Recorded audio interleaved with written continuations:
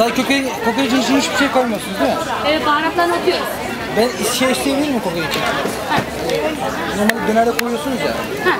Onlardan birkaç bir parça domates, marul şöyle bir şeyler koyarsanız. Tamam. Ee, tavuk istiyor musunuz içinde?